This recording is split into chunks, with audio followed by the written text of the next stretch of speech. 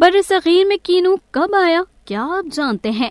जी हाँ ये दावा किया गया है पाकिस्तान में अमरीकी सफारत खाने की एक ट्वीट में। मौसम सरमा के रसीले फल कीनू को दरअसल अमरीका ने 1970 की दिहाई में पाकिस्तान में पहली बार मुतारफ करवाया था और बाद में यूएसएच के मंसूबे के तहत पाकिस्तानी कीनू को नए आलमी मंडियों में मुतारफ करवाया गया।